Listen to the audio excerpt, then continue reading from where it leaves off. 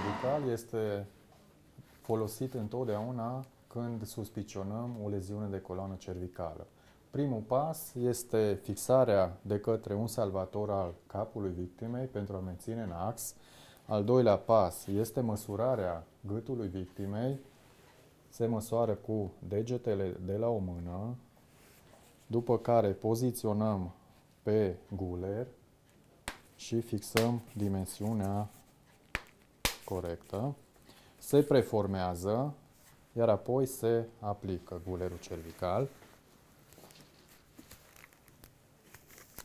Aplicarea gulerul cervical, în cazul când găsim un pacient pe scaun, de exemplu un accident rutier, se face în următorul mod.